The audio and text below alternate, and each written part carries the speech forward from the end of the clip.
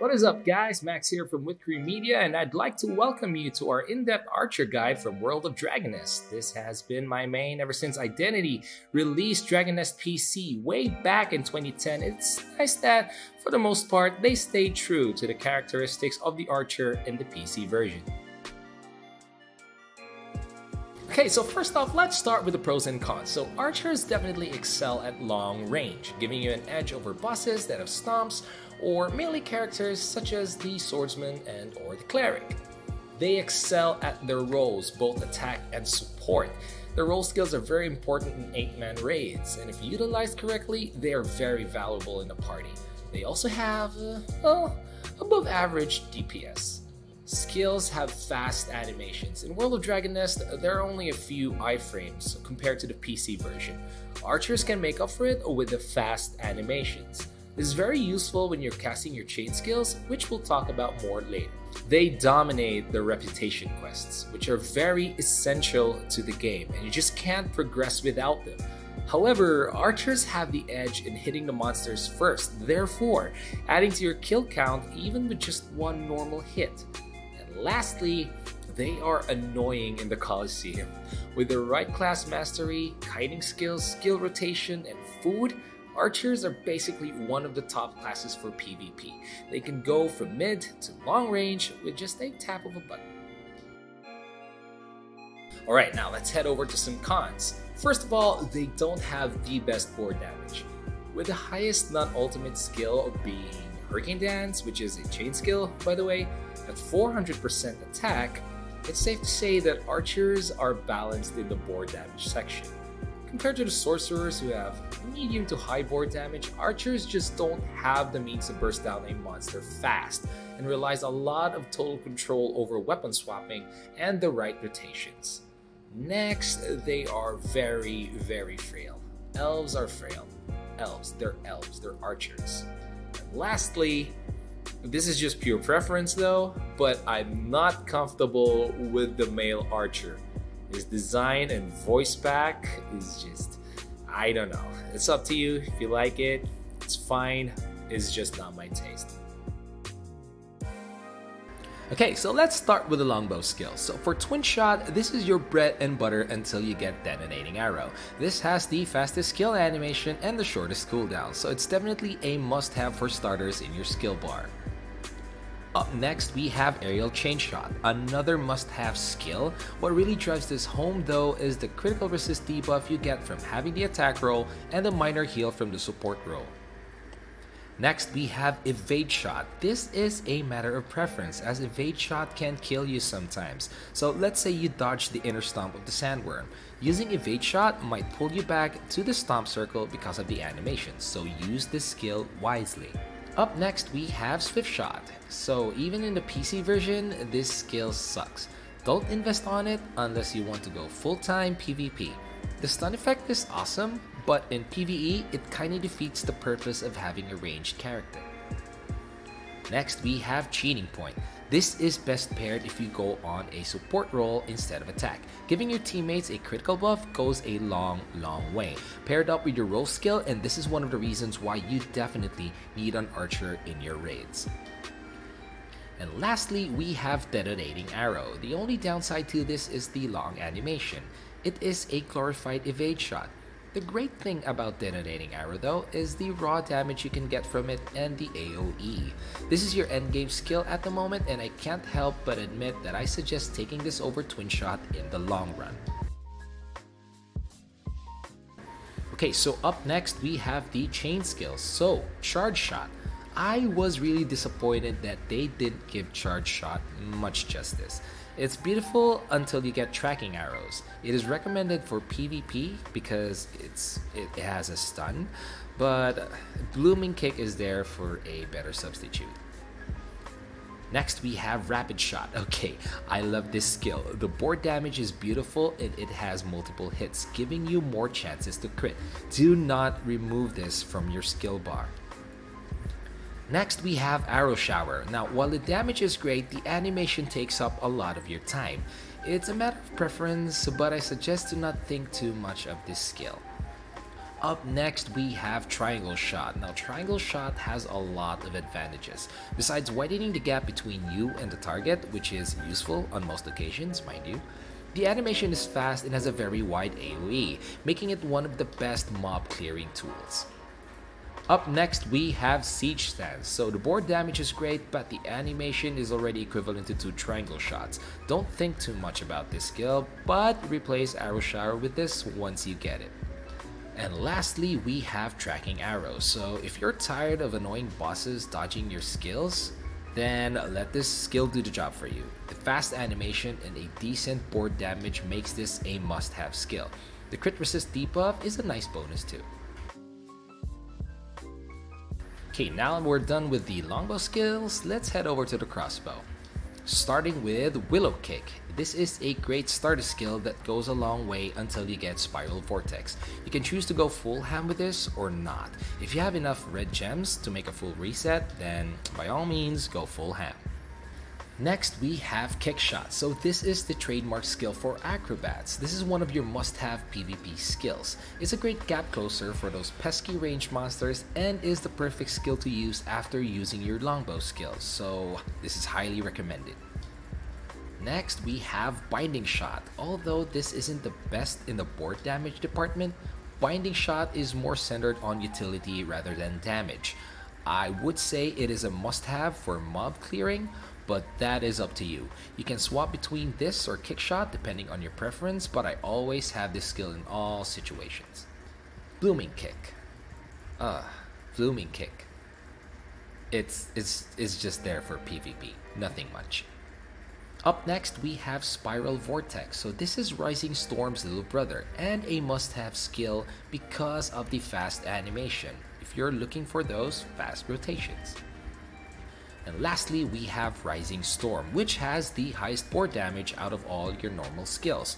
Personally, I'd recommend this in your skill bar for PvE, but for PvP, that's up to you because it takes a while to do its animation. Okay, now it's time for some crossbow chain skills. So let's start with multi-shot. I have no say in this skill. It's just another chain skill that you leave in the long run.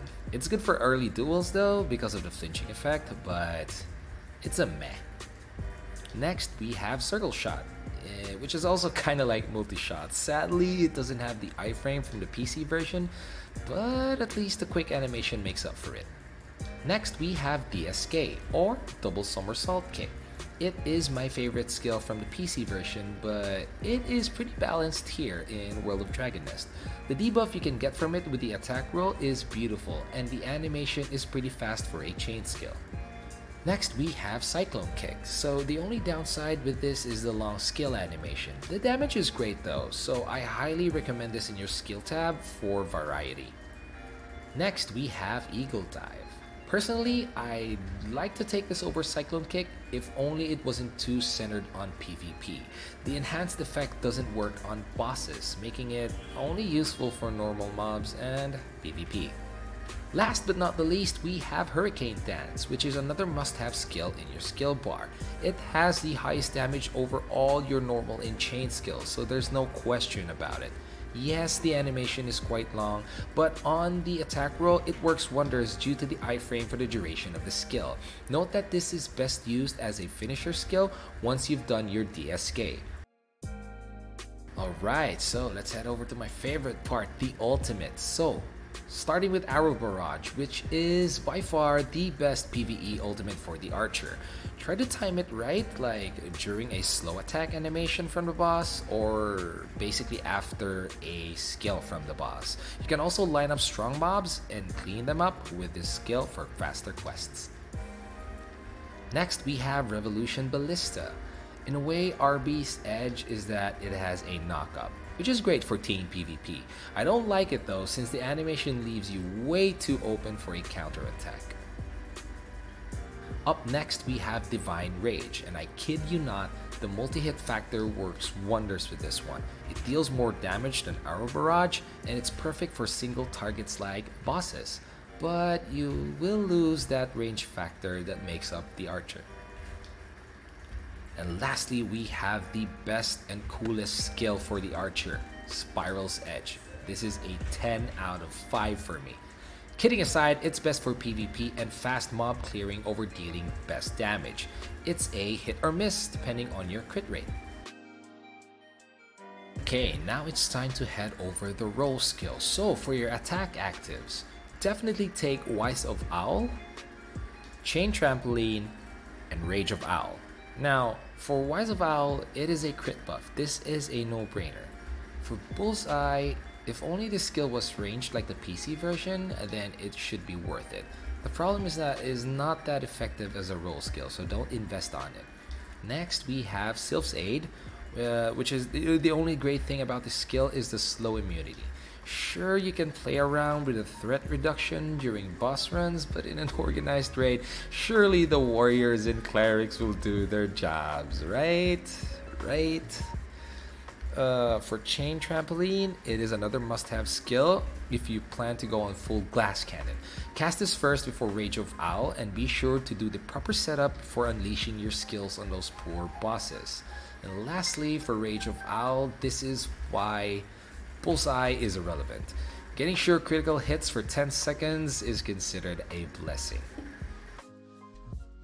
So let's go to the support actives. So starting with Spirit Bless, I gotta say bless this skill. For some odd reasons, archers are leaning more on the support role rather than clerics because of this. It has the best party heal, so definitely max this out. Next, we have Spirit Boost, the second reason why archers are leading more on the support role better than clerics. No question, this is a must-have for raids. Next, we have Spirit Excel, a critical chance buff for the party. No questions asked take it. Second to last, we have Evade Tumbling. So this is highly situational. If you're having a hard time evading the boss mechanics, then grab this skill and use it well. The small health regen is also a good bonus. And lastly, we have Showtime, which I wish this skill paid more homage to the PC version. But instead, it is a lackluster party buff that's only useful if the party is coordinated during raids. Spirit Boost is a better all-around skill. Now that you know which skills to get or ignore, let's move on to the skill rotations. So before we begin, it is important to note that the skill rotations I'm about to show you are only applicable if you know when to execute it. So I highly recommend using these rotations when a boss has a downtime. Also note that before you start any of these rotations, make sure you use up all of your normal skills and do not use auto battle so that you can fully utilize the animation cancel.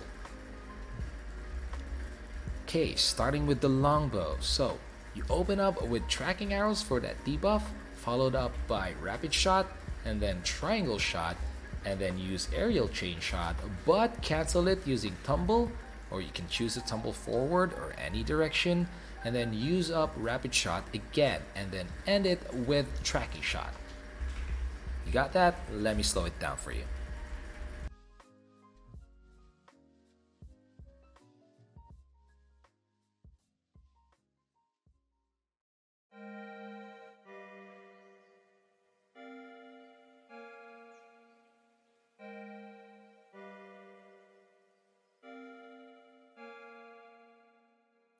Okay, so for equipment. So in World in Dragon Nest, it's more about making the practical choices for you to survive as a free-to-play player. As of the moment, Sea Dragon Nest is the best way to go while skipping the Cauda and Felis set. The end game is the Ancient Warrior set, but it's more of a luxury than a requirement. Based on my experience with Eyedentity, it's safe. It's actually safe to use the second best choice, since there are more patches coming up. But if you support the game and don't have problems with over money, then go ahead, grab that critical plus attack set. And if you're lucky, aim for the ultimate set. But I have to say, that's just overkill. Also, make sure you aim for the enhanced equipment set effects. Having all of your gears at plus 5, 10, 15, 20, 25, 30 will have set effects beneficial to you. Lastly, for accessories, it's always nice to start with the Hagen set if you can obtain it, and skip everything else until you get to the Ebony set. Same rule applies with the Ancient and the Akasha sets. So, for stats. So, crit damage will always sound tempting, but it is pointless if you can't even crit. The order of importance in gear suffixes are as follows. Starting with ultimate, the second would be crit, next would be attack, and then crit damage, and then penetration, and lastly, defense or health. So, for your pet, it's always best to get the Crown Corgi. The second best would be the Husco.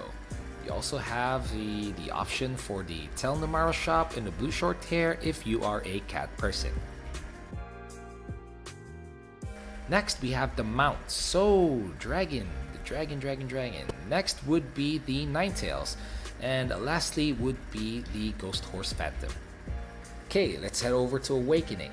So starting with a 5-piece orange sandworm for that spirit obtain rate, it's always a good option. Then you pair it up with one piece of each. Green Tositis and Blue Tositis. Next would be a green and orange fell. One piece for each. Okay, moving on to grinding. So it has the same priority as stats, although you can choose to balance it out with defense and health. So again, let me remind you, first priority should always be crit, next would be attack, next would be crit damage, next would be penetration, and lastly, defense and health. That was a handful. Thank you so much for making it to the end, and I hope you found this guide useful in your journey to become Legendia's best archer. If you think I missed something, please comment down below, and also please do like and subscribe to our channel as it would mean so much to us. We're still starting up this channel, so expect to have more detailed guides soon. Peace, be nice, and don't forget to kiss Berlin goodnight.